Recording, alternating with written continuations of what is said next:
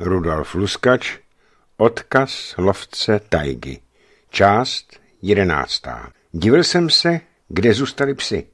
Nepřiběhli ani neštěkali. Nevěděl jsem ovšem, že jsou ukázněnější než jiné lajky, třeba karelské. Ty by tak rychle nezanechali pro následování vysoké zvěře. Na zapísknutí svých pánů se sice bez velké ochoty, ale přece jen vrátili.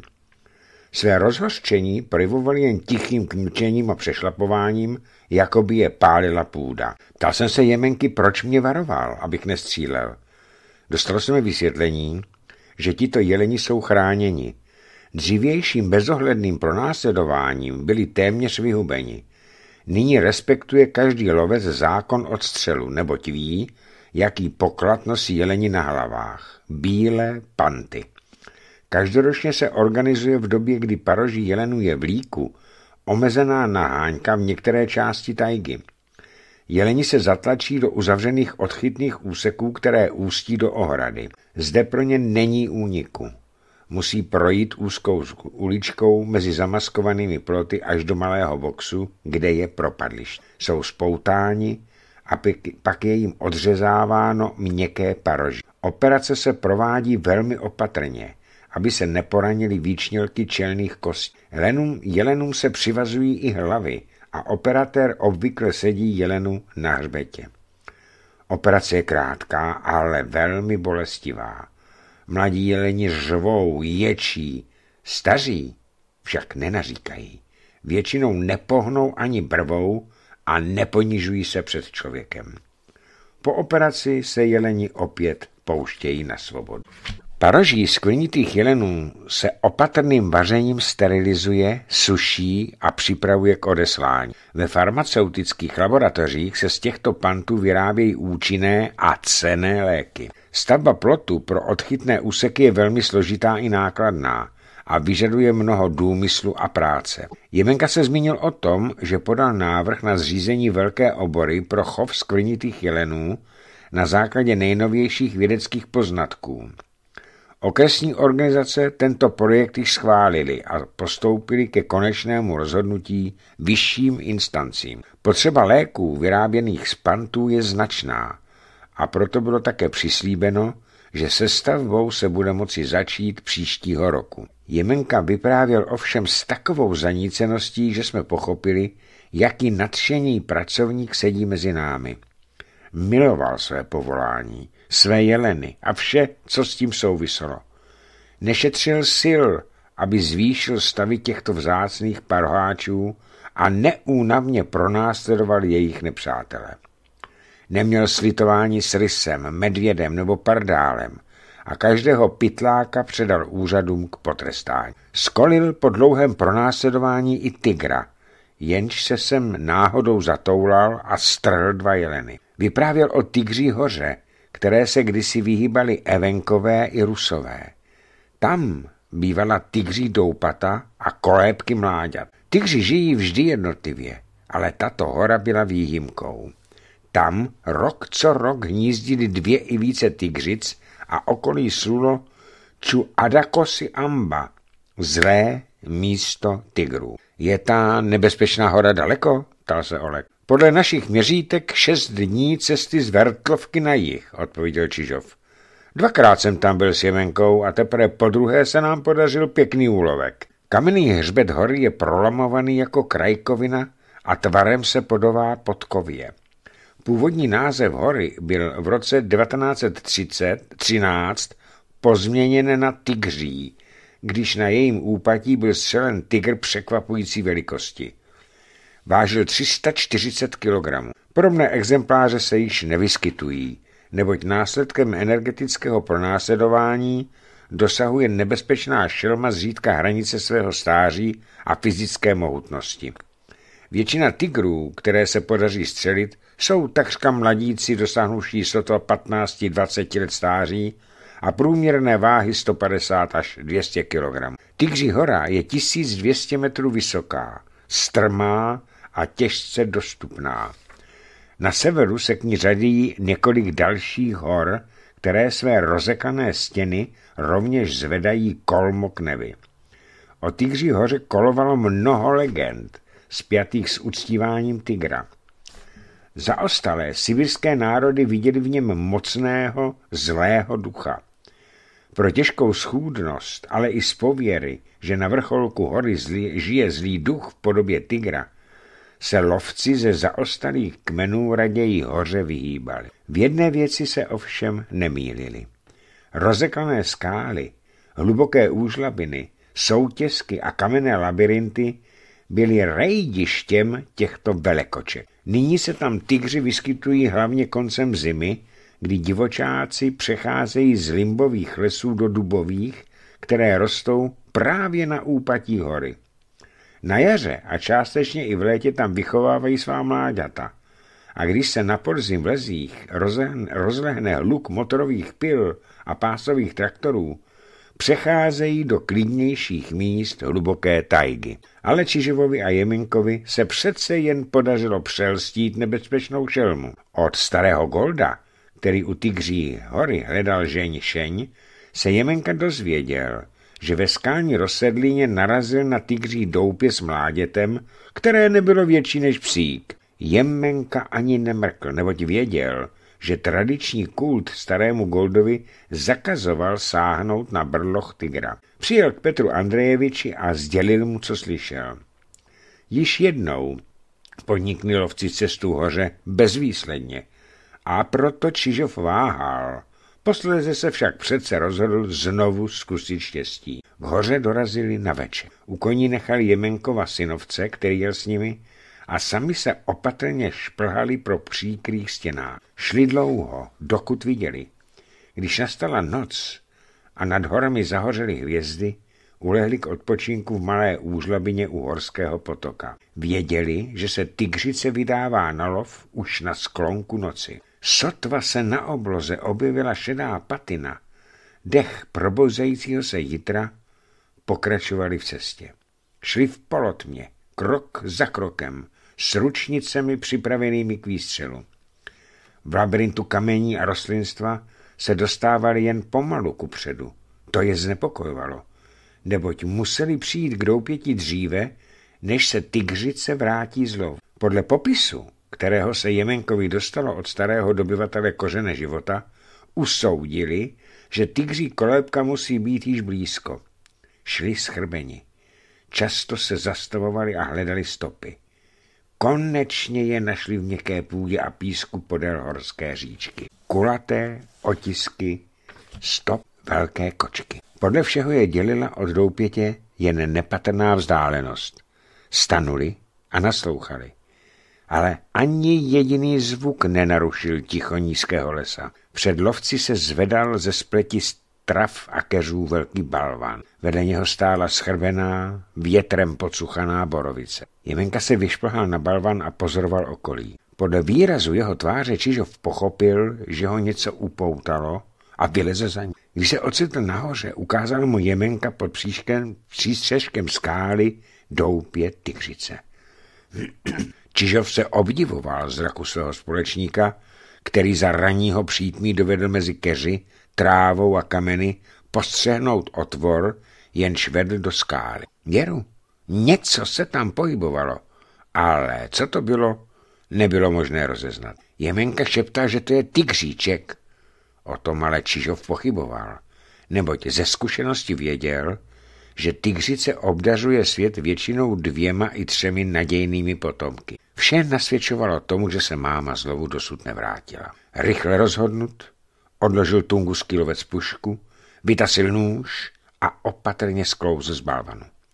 Vědomí, že nastal rozhodující okamžik, roztřáslo lovcům poněkud ruce, ale odhodlaně se blížili k doupěti. Čižov s připravenou ručnicí, Jemenka s nožem a pytle. Co když se hrozná šelma náhle vrátí? Tato úvaha však proletla Čižovou hlavou jen jako slabý signál bdícího pudu sebezáchovy. Když stanuli před doupětem, uslyšeli žalostné mňoukání. Když stanuli, tygří mládě je uvidělo a zalezlo do nejvzdálenějšího kouta obydlí, kde se přitisklo ke stěně. Srst se mu ježila, syčelo, prš, prskalo, škrábalo a třáslo se strachem. Jeho divoká světla vyjadřovala nesmírný úžas. Poprvé v životě uzřelo mládě neznámého tovora, člověka, a nevědělo, co si počít. K rozmýšlení nebylo času. Jemenka hodil obratně na tygříka pytel a zadrhl je řemínkem. Mládě stichlo a neprojevovalo nejmenší příznaky života. Patrně mu vzal strach veškerou sílu a vůli. Čižov stál zatím u vchodu do brlohu s prstem na spoušti ručnice. Již se docela rozednilo a každým okamžikem se tygřice mohla vrátit. A o toto setkání nebylo co stát. Jemenka si rychle přehodil Peter s mládětem přes rameno, uchopil pušku a co nejrychleji se vzdaloval od doupěte. Čižov mu šel v patách. Každou chvíli se obracel a kryl ústup, který se spíše podobal útěku. Lovci běželi z hory přestrní, bodláči a kamení, jen aby co nejdříve dosáhli koní, kde je netrpělivě očekával třetí společník. Skokem se vyšvihli do sedel a uháněli pryč, jako by je pronásledoval legendární zlý duch v tygří podobě, o němž pověsti vyprávěli, že sídlí právě na vrcholku hory. Šťastně dovezli tygříčka do Vertlovky, kde vzbudil pochopitelně velký zájem. Bylo to vůbec poprvé, kdy se někomu z místních lovců podařilo ulovit živého tygra, byť i tak malinkého, že se vešel do pytle. Nevím, kolikátou číšku čaje jsem dopíjel, když Čižov končil líčení riskantního lovu. Ptali jsme se ještě na osud uneseného tygříčka. Sibirský loves odkazoval na Tamoru. Zeptejte se jí, jaké povyražením s ním měla. Ale škoda mluvit, povzdechla si Tamara. Dlouho to trvalo, než si zvykl na lidi. První dny nejedl a nepil. A teprve, když byl tak hladový, že sotva stál na nohou, cucal z mléko, mléko z láhve. Pak se ale přece jenom rychle začal přátelit s okolím.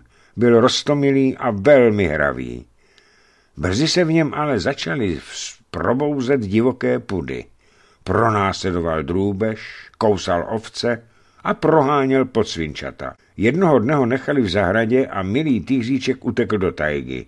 Dva dny ho psi hledali. Pak dostal obojek a běhal na dlouhém řetízku. A to ho rozlobilo. Nesvoboda ho činila nešťastným a proto jsem se ho ujala. Vodila jsem ho všude, kam jsem šla, anebo jela. Tygříček rychle rostl a nebylo divu. Dědeček Rodionovič ho velmi dobře krmil. Staral se, aby měl každodenně čerstvou zvěřinu. Dlouho jsme ho drželi v domě.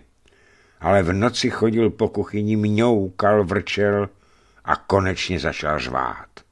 Budil nás každou noc, domluvy nepomáhali. Nechávali jsme ho tedy přes noc v kůlně, ale tam řádil ještě víc. Zřejmě se mu hlavně v noci chtělo ven, do volné přírody. Kolem dokola byl jeho živel, tajga. Stával se nebezpečný cizím lidem, dorážel na ně a poslouchal i nás velmi neochotně. Museli jsme se s ním rozloučit. Petr Andrejevič ho odvezl na nádraží a odeslal do moskevské zoologické zahrady. Za rok jsem přijela do Moskvy a hned v prvních dnech jsem naštívila našeho tygra. Říkalo, říkali jsme mu Taso. Ve volném výběhu v zoo se pohybovalo a leželo kolem skalky několik tigrů, ale našeho jsem nepoznala. Nevím ani, co mě to napadlo. Postoupila jsem až na kraj příkopu, který dělil lidi od šelem a zavolala. Taso, tasíčku! V příštím okamžiku vyskočil jeden z tigrů, natáhl krk a větřil. Kolem mne stálo mnoho lidí a proto mne patrně nemohl hned poznat. Ale představte si, že si zapamatoval můj hlas. Zaměstnanec zoo, který scénu se zájem sledoval, přispěchal, slovo dalo slovo a zavedl mě do příkopu. Neptejte se, co Taso vyváděl. Lehl si na kraj stěny, naklonil hlavu a mručel tak žalostně, že mi bylo do pláče. Ostatní tygři se bez pochyby divili, jaké to má jejich kamarád známosti. Otáčeli hlavy a jeden z nich, asi ten nejziravější, se náhnul přes okraj příkopu. Prosila jsem o žebřík, abych mohla tasa pohladit, ale zaměstnanec odmítl. Nechtěl převzít takovou odpovědnost. No to víte, co kdyby. Jděte, občanko, k řediteli s tou vaší žádostí. Šla jsem. Ředitel mě ochotně vyslechl, ale neměl příliš chuti povolit mazlení s tigrem. Konečně se dal přece přemluvit a nařídil, aby byl Tasov puštěn do zvláštního oddělení, kde se izolovali tygři při zvěrolékařské prohlídce. Dva zaměstnanci stáli před mířížemi s hasičskými hadicemi, aby v případě nebezpečí vrhali na tygra silné proudy vody. Stála jsem u mřímže a čekala, až se Taso objeví. Sotva vběhl, hned mě poznal. Třel hlavou o mříže, kňoural.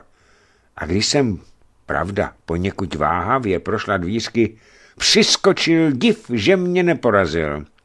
Sedla jsem si vedle něho, jak jsem to dělávala ve Vertovce, hladila ho. A tygr, tygr mi třel hlavu tak silně o nohy, že mi v tu ránu roztrhal punčochy. Rozkoší přivíral světla, když jsem ho škrábala na krku a několikrát mě tlapou tak pohladil, že jsem měla na ramenou i na zádech podlitiny. Nejhůře bylo, když jsem chtěla odejít. Tasov vstal a zahradil svým tělem východ. Strkala jsem do něho, domlouvala mu, že už si konečně dal říct a ulehl. Ředitel pozoroval po celou dobu chování tygra, rychle otevřel parací dvířka, tak jsem vyklouzla. Taso svěsil hlavu, pak ji zvedl, přikročil ke mříži. Ještě naposled jsem ho pohladila a slíbila jsem mu, že zase přijedu. Mou návštěvou odborný zájem o tygra Tasa značně stoupl. Ujali se ho vědeští pracovníci zoologického ústavu a víte, kam to náš Taso dotáhl?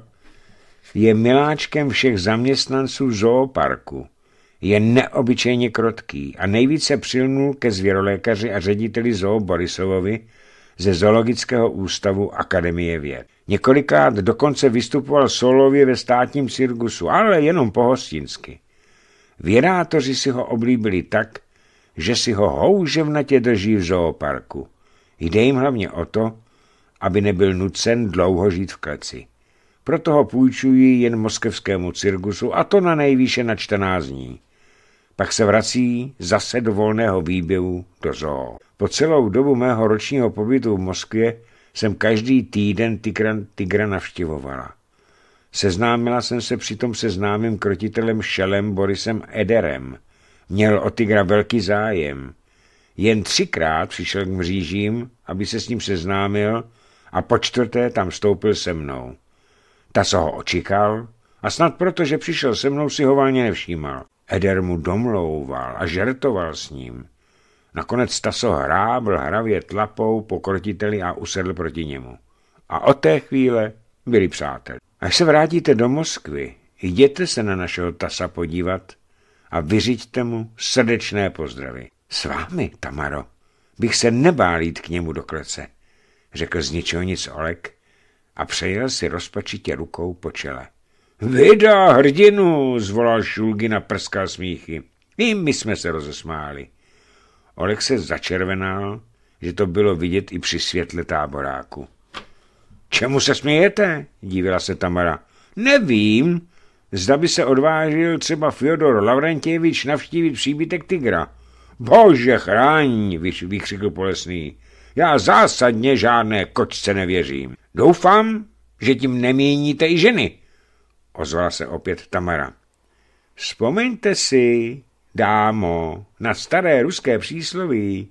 Slepice není pták a žena není člověk, ale nu nic, nic ve zlém. Nikdo z nás neodpověděl. Nakonec se ozval Čižov. Dal bych o tom hlasovat, o tom přísloví, ale je pozdě. Je dokonce zatroleně pozdě. A zítra nás čeká namáhavá cesta a proto bez hlasování, přátelé, na kutě. Petr Andrejevič měl pravdu. Bylo již dávno po půlnoci. Rozešli jsme se do stanu a ulehli. Táborák dohoříval a vrhal skotačivé stíny kolem stanů, kde bděli psy nad naším klidem a bezpečnost. Ranní budíček byl neobvyklý. Kdo si mi lízal obličej? Byl to pes zvaný Věrný, který převzal úrohu podomka. Jeho pán, Čižov, stál u vchodu do stanu a volal Snídaně, vážení, snídaně! S chutí jsme pojedli šašlik, to jsou šťavnaté kousky skopového masa opečeného z cibulí na rožni, zapili čajem, složili stany a vydali se na cestu. Koně klusali po úzké stezce a psi každou chvíli plašili z porostů hlušce nebo jeřábky. Zastavili jsme se. Čižov, Olek a já jsme se rozešli podle hlasu lajek. Každý k jedné. Tito psi usazují totiž lesní pernatou na stromy. Běhají po lese velmi rychle a díky dobrému čichu, sluchu a zraku nepropustí žádného lovného ptáka. Jeho stopu navětří a nebo dokonce i postřehnou. Okamžitě jsou v jeho blízkosti a překvapený pták nemá na vybranou. Musí vzlétnout, jinak se ocitne v zubech psa. Většinou se zavěsí na blízký strom. Lajka běží za ním, nespouštějí ho z dohledu. Usedne pod opeřencem a začne rytmickým štěkotem hlásit. Lušec, tetřívek i jeřábek sedí, naslouchá a pozoruje nebezpečného tvora před sebou. Po hlasu psa se lovec rychle přišoulá, rozhledne se po stromech a zjistí, kde se opeřenec usadil. A pak už jde jenom o dobrou mušku. Za hodinu jsme ulovili osm jeřábků a čtyři hlušce, což plně stačilo pro nasycení sedmi hladových krků. Cestou se Oleg dotazoval, zda se někde v okolí zdržují lovci. Čižov odpověděl závo, záporně. Oleg však tvrdil, že v noci viděl slabou zář táboráku. To se vám asi zdálo, tvrdil Čižov. Tady se v létě a na podzim neukáže jediný lovec, nemá taky proč. Lužců, tetřívku, jeřábku, sluk a lesních korobtů je jinde mnohem více než zde. Jen v zimě sem někdy lovci přijedou, když se střílejí popelky. Olek však trval na svém. Když jsme se vrátili k ostatním, ptal se Čižov, zda ještě někdo v noci spozoroval cizí táborák. Ano, já, pozvala se Tamara. Sotva jsem ulehla, vzpomněla jsem si, že jsem u našeho táboráku nechala loveckou brašnu. Šla jsem pro ní a určitě si pamatují, že na jihu blikal oheň. Znám to dobře. Byl to táborák, na který někdo přiložil suché haluze a ty hned splanuli. Prapo, divná věc, řekl nechápavě život. Čižov, co by tu kdo hledal? A pak, dodal staro, starobor, proč by se utábořili někde jinde, když rozhodně museli vidět náš táborák. Vypadá to tak, jako by se nám někdo vyhýbal. Čert ví, co zatím vězí. Louposti, zaučel polesný šugy, Šulgin. Viděli jste bludičky na močálech a bájíte o táboráku. Vyznám se tu a mohu jen potvrdit, co řekl Petr Andrejevič. Do těchto míst nevkročí na podzim lidská noha. A tak zůstala otázka cizího táboráku nevyřešena a každý zůstal při svém mínění. Cesta se zase zhoršila, lépe řečeno, přestala vůbec. Kolem nás se prostírala černá tajka. Hustý limbový prales. Jeli jsme husým pochodem a překonávali místa, jež činila dojem, že tu snad tančili mamut. Jako by zde obři vydupali jámy, polámali stromy a natropili nepořádek, že příroda ani po mnoha tisíciletích jej nebyla sto úrovna. Nevzhlednost, mračnost a chaos, to jsou příznaky černé tajgy. Jemenka sliboval, že nás brzy vyvede po stezce, kterou vyšlapali jeleni. Ale nebylo to tak snadné. No ale klopítl soumar a svalil se jako žok. S obavou jsme hleděli, jak se marně pokoušel stát.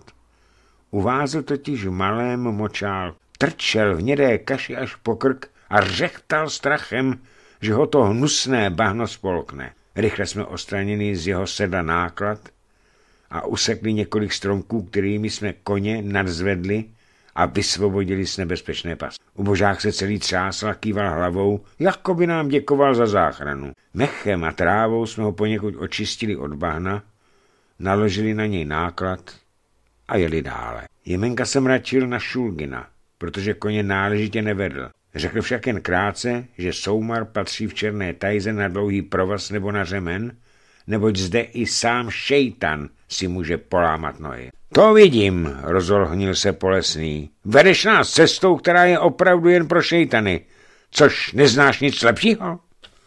Amba mi budí svědkem, že ještě nikdo zde lepší cestičku nenašel. Přijde horší. A toho jsme se také brzy dočkali. Černá tajga nám připravila další nesnást. Cestu lesním hřbitovem. Prostíral se před námi tak, že se nedal obět. Když si zde hořela tajga, hořela dlouho a požár se rozšířil na mnoho čtverečních kilometrů. Zůstal černý, nepřehledný hřbitov. Cesta byla nebezpečná. Některé kmeny byly vyvráceny a polámány větrem a tvořily hotový labirint. Stromy zde ležely jednotlivě i v celých skupinách. Často z nich trčely tlusté suché haluze připomínající dělení parohy. Ty byly nebezpečné zejména pro koně, byly křehké jako ocelová pera, lámaly se a koně se o ně mohli snadno poranit. Průchod hřbitovem je obzvláště nebezpečný za větru. Některé stromy, jež si uchovali vertikální polohu, padají nečekaně pod náporem větru jako podťaty. Jeli jsme husím pochodem za Jemenkou, jehož skvělé orientační schopnosti jsem se nestačil obdivovat. Když jsme se na chvilku zastavili, zjistili jsme, že opět chybí šulg. Jako obyčejně jel poslední a snad někde bloudil po černém Vitovi. Avšak naše karavana zanechávala tak zřetelné stopy, že by je uviděl i zelenáč, než kvůli zkušený polesní. Znal tajgu jako málo kdo. A jeho spoždění bylo nepochopitelné. Chvíli jsme na něho čekali, pak ale Čižov rozhodl, abychom měli dále. Cesta byla stále horší a horší. Začal jsem strájet, ztrácet trpělivost a prohlásil, že podobné cestování by bylo vhodným doplňkem pro muka, pro muka Tantalova. Hm, Olek se smál a odpověděl, že Tantalos by si mohl blahopřát, kdyby mu Olymp udělil podobnou milost. Jeho hlas byl neobvykle zvučný. Nepochopil jsem, jakou milost má na mysli. Když jsem však spozoroval, že se Tamara ohlédla a bezděčně usmála, byla mi věc naprosto jasná. Máte pravdu, Olegu Ivanoviči. Pro vás je tato cesta procházkou v růžové zahrádce. Nemyslíte, Tamaro? Řekl jsem nevině. Co ti míníte, Rudolfe Rudolfoviči? zeptala se. Zarytě jsem mlčel a popleskával koně po krku. Tamara prohlásila. Neřeknete-li hned, co ti myslíte, vytahám vás za vlasy. Nevypadal jsem zřejmě, že by mi tato vyhlídka byla nepříjemná, neboť Tamara mi jenom pohrozila a předila nás. Co říkáte? Není to dívka k pohledání, prohodil Oleg. Myslím si, Olegu, že je to první poklad, který jste v Tajze našel, odpověděl jsem a myslel jsem to vážně. Geolog vděčně sklonil hlavu, pobídl koně a doháněl dívku. Na malém kopci nás očekávali Jemenka a Čižov. Ukazovali do dálky. Vítr zde dokonal zkázu požáru a vyvrátil všechny ohořelé stromy, takže nic nebránilo rozhledu. Vidíte ten modravý pás tam vzadu na obzoru? Tak tam začíná světlá tajga a teče řeka Alugan. Podél ní pojedeme až k Medvědímu jezeru. Nejste-li příliš hladoví, odpustíme si oběd a u jezera se pak utábořím. S návrhem jsme souhlasili a mezi jízdou jsme chroupali sibirské cestovní pečivo. Jsou to malé koláčky pečené z nejlepší mouky a chutnají znamenitě. Konečně jsme dojeli k řece. Průzračné vody proudily širokým korytem, kroužily, vířily a přetékaly přes nesčetné balvany a kameny. Voda nebyla hluboká, ale zrádná. Její proudy a vír vyhloubily výmoly i jámy a stálo nás to mnoho námaj i času, než jsme našli brod a konečně řeku přebrodili. Na protějším břehu se však nedalo pokračovat v jízdě podél řeky, nebo ti vroubili samé skály a velké kameny. Museli jsme se tedy proplétat hustým lesem. Naštěstí jsme se dostali na stezku, kterou zde prošlapali medvědi a ta nás vyvedla na vysoký břeh. Zde však nastaly další potíže. Úzká cesta byla místy zatarasena vyvrácenými stromy. Zátarasy jsme museli odstraňovat sekerami. Starobour se zakusoval sekerou důležitých stromů s takovou zuřivostí, že třísky létaly na všechny strany. Konečně jsme vyjeli do vysokého borového lesa, jehož půda byla porostlá zeleně zářícími mechy a velkým množstvím různých jahod. Řeka zde však tvořila několik záhybů a na pořad dne přišly dostihy s překážkami. Popravdě řečeno, dostihy zde konala řeka, která se hnala přes takové překážky, které by nepřekonal žádný smrtelník. V jednom místě jsme byli nuceni se z rázného břehu sklouznout až do vody. Koně to provedli přímo bravurně, ale když s hlomozem žblunky do vody, ponořili se do ní až po krk. Připravili nám tak málo příjemnou lázeň. Pak se koně dostali do mělké vody, avšak museli s námi u protějšího břehu přeskočit ještě několik polouptomených kamenů a vyšplhat se na příkrý břeh. Bylo to představení vhodné pro cirkusovou manéž, jen s tím rozdílem, že bezděční diváci, kochající se krkolomnými výkony svých druhů, byli nuceni v příštích minutách provádět totéž. Konečně jsme se přeplavili a před námi ležela hustá, zdánlivě úplně neprůchodná tajga. Tvořili ji nepřetržité porosty modřínu. A teprve nyní nás dostal, dohnal Šulgin a vysvětloval, že soumar přetrhl břišní popruh a roztrousil náklad po lese. Trvalo prý velmi dlouho, než všechno spravil. No což, měl smůlu. Polesní se ještě chvíli zlobil a hučel, že by takovou cestu nekonal ani za trest a ptal se Jemenky, zdali se rozhodl vyzkoušet, co sneseme. Tamara propukla ve zvonivý smích a volala. Chrastí vám snad, Fjodore Lavrentjeviči, kostičky v těle? O mne zde nejde. Jsem zvyklý i na horší cesty, ale naši nováčci v Tajze, ti jistě cítí každou kůstku v těle. A ani vám asi nebude o nic lépe. Pospíšil jsem si poznamenat, že se cítím znamenitě a Oleg řekl to tež. Tu má vladívka rukou, její tvář vyjadřovala uspokojení, ale neodpustila si poznámku. Děláte si zcela zbytečné starosti. Šulgin se kysele ušklíbil. Byl popudlivý. Jemenka a Čižov jeli napřed a hledali stezku, abychom se dostali do hustých porostů modřín. Našli úzký ochoz zvěře. Sotva jsme se ocitli v mlází, sesypali se na náš komáři a muchničky, jimž poskytoval porost vítanou skrýš před větrem a nečasem. Tento byč tajgy se na nás vrhl s takovou zřivostí, že se mi zdálo za bílého dne o čertech. Muchničky lezly do očí, uší, úst i nosu. Komáři bodali do obličeje, šíje a rukou a ani sítky, které jsme si přitáhli přes hlavy, nám nepřinesly úlevu.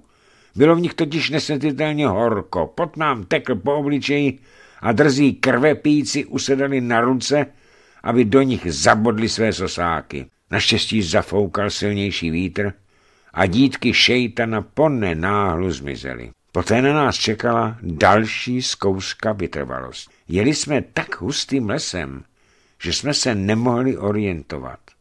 Kolem nás po stranách a za námi nebylo vidět nic jiného, než nekonečné množství slabých kmenů a větví světle zelených modřínů. Směr cesty byl patrně určován jen takzvaným šestým smyslem, jimž byl obdařen zejména Jemenka. Vedl nás s jistotou přímo zarážející. Každý z nás pozoroval bedlivě ocas předního koně, který v tomto zeleném moři byl jediným orientačním bodem a zárukou, že se nestratíme jeden druhého z očí. Sotma jsme po nekonečné době projeli hustým mlázím, začala měkká místa. Tempo jízdy bez, bez tak pomalé se ještě více zmírnilo. Koně vázly v černé špíně, klopítali přes schnilé pařeny i kořeny vyvrácených stromů. Podle Jemenkových slov bylo Medvědí jezero vzdáleno již jen asi 4 až 5 kilometrů.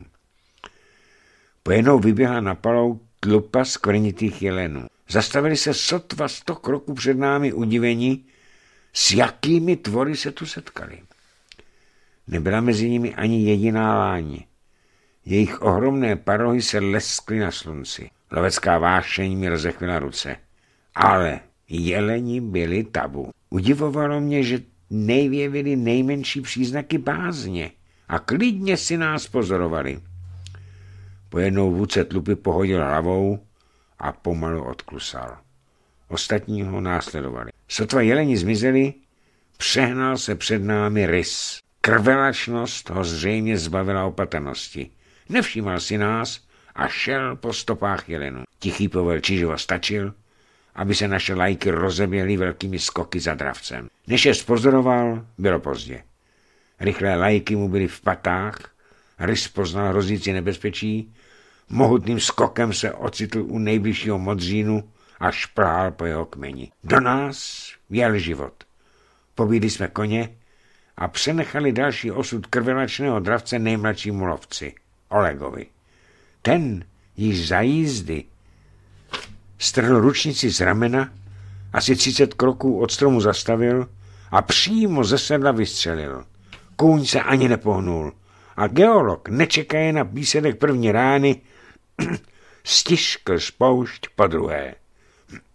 Rys vydal po výstřelech táhlý skřek, poskočil a křečovitě se pokoušel udržet na stromě. Vysel několik okamžiků na holuzi, avšak potom mu smrt rozevřela tlapy a Rys hlučně dopadl na zem. V jeho těle byl ale ještě život, jenomže již neuvědomilý. Svahy poli, svaly pohybovaly jeho běhy, jimiž rozhrabával půdu, tělo se vytahovalo a krčilo.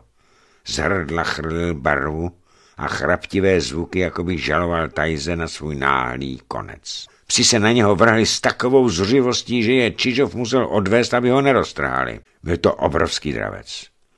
Délka jeho těla byla 140 centimetrů. Měl ještě letní kožich, který nebyl plnocený, ale Oleg si ho přece jenom nechtěl ponechat. Hoďte si toho rysa přes sedlo, kůži mu stáneme až u jezera, radil Čižov. Bez dalších příhod jsme dorazili k Medvědímu jezeru. Leželo před námi a v jeho hladině se odrážely vysoké břehy a rozmarně roztroušené skály. Za své jméno vděčilo medvědům, kteří se zde vyskytovali ve větším množství než jinde, a zejména na jaře zde bylo rušno. Medvědi lovili ryby, které táhly k trdlištím do dvou přítoků jezera v takových houfech, že voda vířila jako v horském kotli. Byly to pro medvědy pravé hody. Spouštěli se z kopců a hor, opouštěli hvozdy a houštiny a přebývali celé dny u ústí řek a lovili ryby. Stáli na břehu nebo přímo ve vodě a rychlým úderem tlapy vyhazovali oploutvence na sou. Každý z nich si nalovil pěknou hromádku a pak se dal do hodování. Z bohatého stolu zůstalo mnoho zbytků pro různé příživníky. Přicházely různobarevné lišky, kuny, soboly a jiná čtyřnohá a okřídlená havěť. Jezero a ústí řek bylo tedy na jaře jevištěm boha pustých žranic pestré cházky tajgy. V malemném místě na malé pobřežní louce stála lovecká chata zvaná zde Balagán. Sloužila lovcům v zimě za příbytek a my jsme k ní přijeli, abychom nemuseli stavit stany. Podle nepsaného zákona musel každý použivatel opustit balagan v takovém stavu, v jakém ho našel. I dříví musel naštípat pro dalšího, třeba s neznámého návštěvníka. Tentokrát však byl zákon tajgy hrubě porušen. Balagan byl v hrozném stavu. Vše nasvědčovalo, že zde hospodařili něčemové. Strhli kus střechy, rozházeli palandy a palivové dříví pod přístřežkem. Velká solnička, vyřezaná z březového špalku, byla převrácená a sůl vysypána na zem. Takovou bezohlednost kvitovali sibiřané peprnými slovy na adresu neznámých darebáků. Sůl je v odlehlých končinách tajgy velmi důležitá. Některý lovec své zásoby vypotřebuje na lovu, přijde do balaganu a připravená sůl mu umožňuje připravit jídlo. Jiný lovec, který sůl má, zase solničku doplní a tak se udržuje v chatě vždy zásoba soli, mouky i palivového dříví. Uvedli jsme balakan poněkud do pořádku, ale pro pohodlí jsme si s Olegem postavili přece jenom svůj stan a druhý jsme postavili pro Tamaru. Jemenka vařil čaj, čaj vlastního sběru. Vzal z krabičky špetku rozezaný z žlutozených listů neznámé rostliny a zavářel je. Vůně čaje připomínala zahradní jahody. A také tak chutnal. Tunguský lovec vysvětoval, že to jsou listy keře, jenž roste na horách. Kvete nádhernými růžově fialovými květy a v místním nářezí se jmenuje voný proutek. Hlavní jeho přednost spočíná v tom, že prý zahání příznaky únavy. Tento čaj pijí lovci při vysilujících pochodech. Tento čaj neznal, ba ani polesný Pšulgin o něm nevěděl, ačkoliv tvrdil, že zná v tajze kde co. Zajímala nás nejvíce jeho účinnost proti únavě. Patrně se podobaly jeho vlastnosti čínskému citroníku nebo africkému stromu z, druhou, z druhu sterkuliacentů, kola, jehož ořízky jsou prý podobný účinek světoznám. Při úklidu balaganu se nečekaně osval smích a starobor zvolal. Petře Andrejeviči, můžete se zlobit na hospodáře, že si nevíme, nevymetl jizvu a způsobil v ní boží dopuštění? To je novina. Jaký pak hospodář? Huňatý, kosotlapý, medvěd. Jezero nese jeho jméno a vládne zde podle své vlastní vůle. Hleďte, nechal zde dokonce vizitku. A tak se vysvětlilo, že v chatě přebývali medvědi a Čižov žertově poznamenal, zda nepřijdou a nebudou si dělat nárok na nocleh. Zatímco Tamara a Starobor vařili večeři, prohlíželi jsme si zatím okolí.